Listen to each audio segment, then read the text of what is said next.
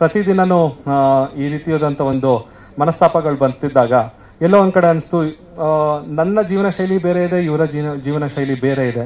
ಒಬ್ರಿಗೊಬ್ರು ನಾವು ರೆಸ್ಪೆಕ್ಟ್ ಮಾಡಲೇಬೇಕು ಬಿಕಾಸ್ ನಾವೆಲ್ಲ ಇಂಡಿವಿಜುವಲ್ಸ್ ಈ ಭೂಮಿ ಮೇಲೆ ನಾವು ಜನ್ಮ ಪಡೆದಿದ್ದೀವಿ ಅಂದಮೇಲೆ ಅವ್ರಿಗೆ ಎಷ್ಟು ಹಕ್ಕಿರುತ್ತೆ, ನಮಗೂ ಕೂಡ ಅಷ್ಟೇ ಹಕ್ಕಿರುತ್ತೆ. ಸೊ ಹಾಗಾಗಿ ಯಾರ್ಯಾರು ಫೋರ್ಸ್ಫುಲ್ ಆಗಿ ಒಬ್ರ ಜೊತೆ ಇರೋದು ಸರಿಯಲ್ಲ. ಅಂದ್ರೆ ಮಾನಸಿಕವಾಗಿ ಒಂದು ನೋವನ್ನು ಅನುಭವಿಸ್ಕೊಂಡು ಒಟ್ಟಿಗೆ ಇರೋದು ಸರಿ ಬರಲಿಲ್ಲ, ಅದಕ್ಕೆ ನಾವಿಬ್ರು ಒಮ್ಮತದಿಂದ ಮತ್ತೊಮ್ಮೆ ಹೇಳ್ತೀನಿ ನಾವಿಬ್ಬರು ಮ್ಯೂಚುವಲ್ ಕನ್ಸೆಂಟ್ ಇಂದ ಒಟ್ಟಿಗೆ ನಿರ್ಧಾರ ಮಾಡಿ, ನಾವಿಬ್ರು ಖುಷಿಯಾಗಿರಬೇಕು ಅಂತ ಹೇಳಿದ್ರೆ, ನಾವಿಬ್ರು ಸಪ ಸಪ್ರೇಟ್ ಆಗಿದ್ರೆ ತುಂಬ ಖುಷಿಯಾಗಿರ್ತೀವಿ.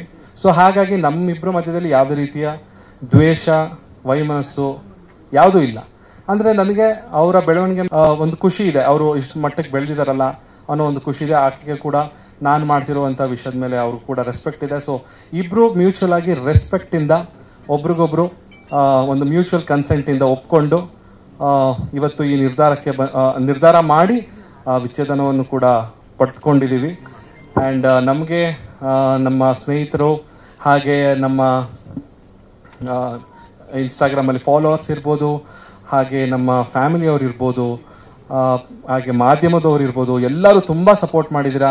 ಇಂಥ ಒಂದು ಸಿಚುವೇಷನಲ್ಲಿ ನಮಗೂ ಕೂಡ ತುಂಬ ಕಷ್ಟ ಇತ್ತು ಎರಡು ದಿನ ನಾವು ಯಾರ ಫೋನ್ನು ಅಟೆಂಡ್ ಮಾಡೋಕ್ಕಾಗಲಿಲ್ಲ ಬಿಕಾಸ್ ಆ ಮನಸ್ಥಿತಿಲಿ ಇರಲಿಲ್ಲ. ನನ್ನ ಯಾರ ಜೊತೆನೂ ಮಾತಾಡಬೇಕು ಅನ್ನೋ ಒಂದು ಮನಸ್ಥಿತಿ ಇರಲಿಲ್ಲ.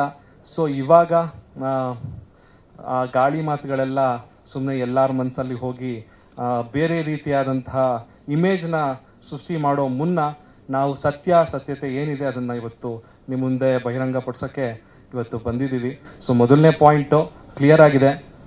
ನಾವು ಕಾನೂನಾತ್ಮಕವಾಗಿ ವಿಚ್ಛೇದನವನ್ನು ಪಡೆದಿದ್ದೀವಿ.